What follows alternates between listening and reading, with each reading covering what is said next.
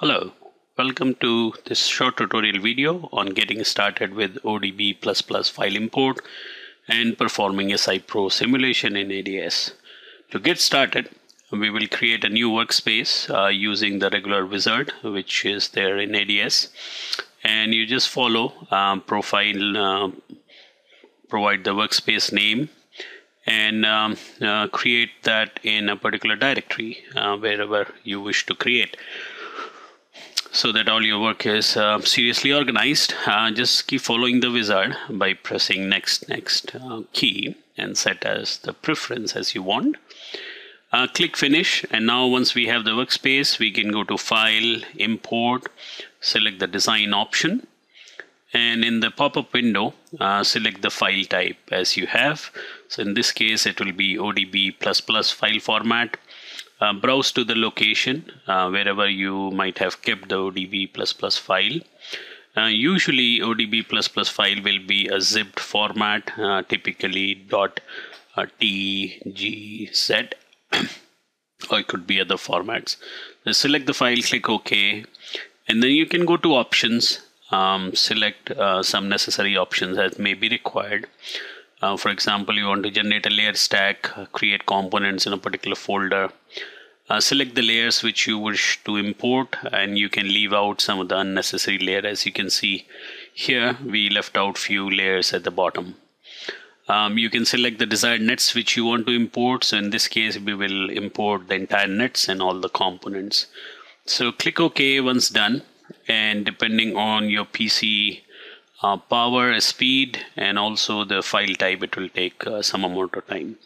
However, uh, before that, ODB++ uh, import option give you opportunity to assign appropriate material, and these material come from the database which uh, ODB file may have, and also you can correct uh, some of these dimensions uh, which may be little irregular depending upon which units were used in ODB file, um, you know, while creating the layout.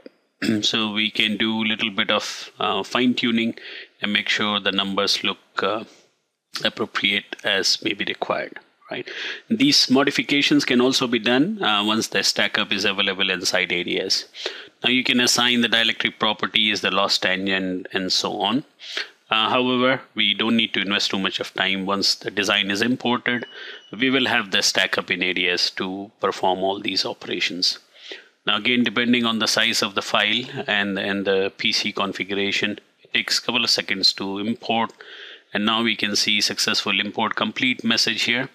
Just click OK and observe the workspace in ADS. So where we have our main design, uh, which has a layout and a folder which contains all the components which are used in the design. So basically they are footprint of those components. By double clicking on the layout, it shows us the, the imported ODB file and we can delete some of these uh, associated text uh, which is not required for our simulation purposes. However, we could have um, you know avoided some of these by not importing uh, the text layer in case they are written in a different layer using the navigator window we can uh, you know quickly find out uh, the nets and if this window is not available we can go to view menu click on navigator and we can switch on. So by selecting the nets uh, those nets get highlighted um, giving us indication on where they are with respect to our geometry. Now once we inspect the geometry we are ready to launch SINPI Pro um, analysis uh, window and then it will create a new setup as we are doing it for the first time. You can give your setup a name as you want. Just click OK. Now again, um, depending on how complex is the layout file, it takes a couple of seconds to load the design into the SI Pro and PI Pro analyzer window. Uh, so here is the SI Pro and PI Pro window and then shortly you will see our design loaded up here. So that's the layout which we are going to analyze. We can uh, inspect the layout in 3D, stretch it in Z direction for a better viewability. And now here is our complete layout uh, which has all the nets um, in the design and we can just click on filter and filter out the interested net which we want to simulate. So here we can see I selected one net uh, DQ, you select multiple nets and those are highlighted. um, so that we we are sure what are we trying to simulate. So once we inspect everything looks okay, uh, we can um, you know add these nets into the analysis engine uh, depending upon what type of analysis we may want to perform and that can be very simply done by uh, simply right clicking and adding it to the PASI analysis. Uh, just right click and select add to analysis option and then from the pop-up window select PASI. PASI means power aware SI in case you you have included the power plane and so on. Now the nets are here. We just can just select the nets, uh, right click and connect the ports onto that net by selecting this option. And in here, SI Pro is intelligent enough to give you the instance name where your net is connected and you can choose uh, whether you want to connect a component or connect a port. So here in this case, we do have RN5, which is a resistor, and we will uh, select the option of connect a port. And using the ground uh, pin, it automatically paces the negative pins uh, for each positive pin. As we can see here, if we select the ports, it shows the location of the port um, and plus and minus pins uh, for those ports and so on. So here we can see we have um, two um, you know ICs U1 and U10 uh, which are connected to those nets. So the ports on the far end is also placed on both the sides right? Now if it is required to be simulated for both the ICs uh, we can keep the port settings as it is. But in this case we would not like to have uh, the bottom port. We only want to keep the U1 port.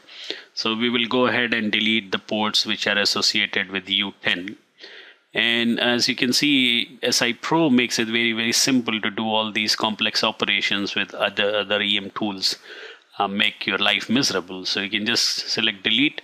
And now we have eight ports in our design. And uh, for this resistor, uh, which is uh, connected in series to, to the nets we are trying to simulate, we can assign a component model right here.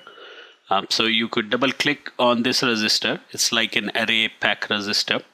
And it opens up a window uh, where we can see uh, that there are eight terminals for the four resistors and we can find the associated um, you know pins for each of the resistors. So it's 1 8 2 7 3 6 and 4 5 we can define it as an arrayed component and now in this array component I can define 8 to be minus 1 which indicates the second terminal of uh, first resistor and so on. So 2 goes to minus 2, 3 goes to minus 3, and 4 goes to minus 4.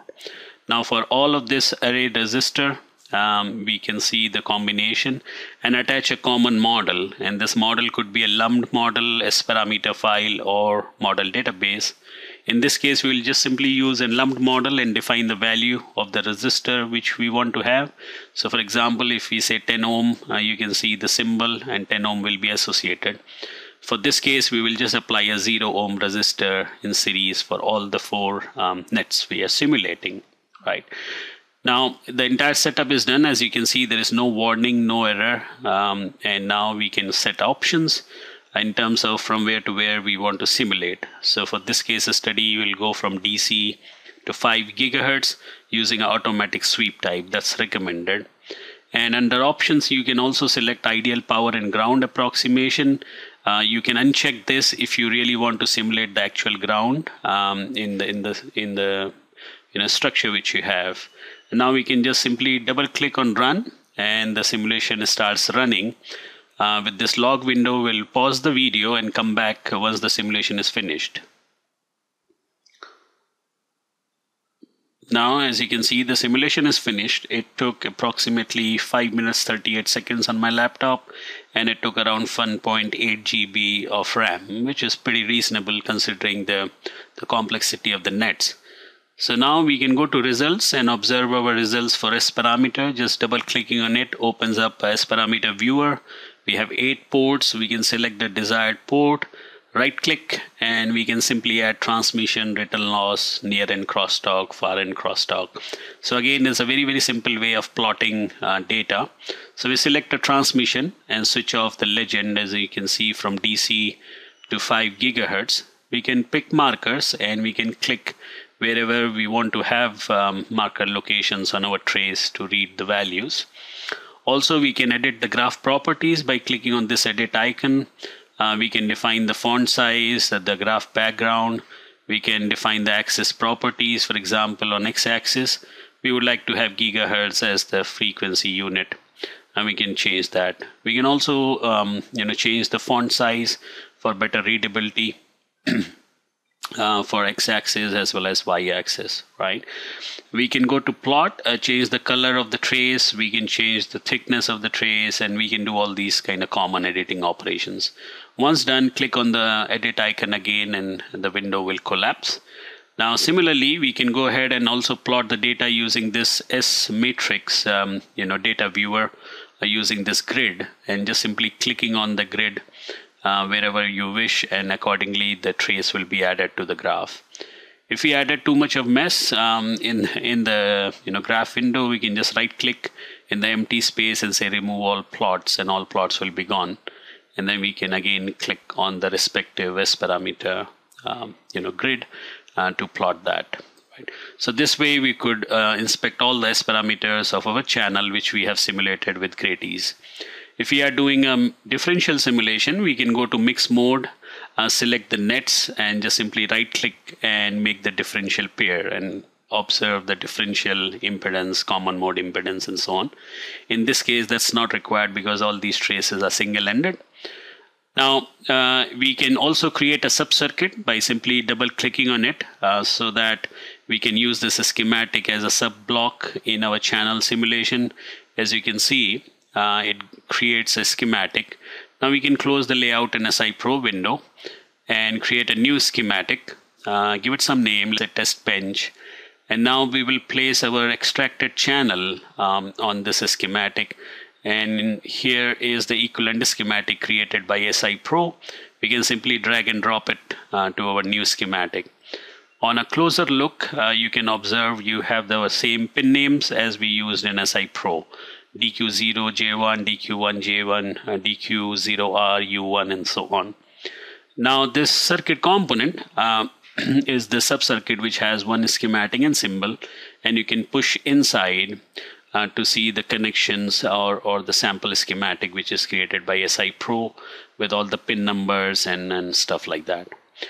So we will have a raw S parameter and also we will have an S parameter uh, controlled by uh, attaching the resistors and so on. That's why here in this case you see a 12 port S parameter file because there are four pins which are used up by resistor. Now in this uh, symbol, we can go ahead and set up our transient simulation or channel simulation if we want to run some eye diagram related measurement. So we can uh, choose a transmitter single-ended from channel simulation library and you can define the property of this behavioral transmitter as per the SerDes which you may have. Um, if you have AMI model, you can also directly use an IBIS AMI model here uh, by placing the respective block. Now we can make the connections at the suitable pins uh, for the transmitter and the receiver and then specify the transmitter SerDes characteristics. For example, 2.4 Gbps, minus 1 to 1 uh, volts of swing, uh, 50 picosecond of rise and fall time. Um, also, you can double click on the transmitter model and specify the characteristics as required. So here we will include a 50 ohm electrical load we can specify the jitter specification to model. So idea is to model the transmitter SerDes as, as closely as possible, including pre-emphasis and, and so on. Um, we can connect an EyeProbe at the output of the receiver or output of the channel wherever required. Double click on the EyeProbe, uh, select the measurements which we may want to perform using that probe. Right now we do have five measurements which are default selected and we place a channel controller, define the number of bits to be simulated in the channel simulator, or move it to statistical mode in case you want to do statistical you know, simulation. Similarly for the receiver, we will also have a 50 ohm load um, associated so that my net is loaded with 50 ohm a single-ended impedance on either side. Uh, if you want to simulate more channels, you can have crosstalk, um, you know transmitter model uh, you could uh, terminate other uh, you know pins with 50 ohm in case you don't want to uh, feed through any data through that lane and so on. So once the simulation is finished, the data display, we can plot density, which essentially shows you the eye diagram on the trace we simulated. And we also add a table to plot eye height and eye width um, depending on our simulation and observe the quality of the data uh, which is available.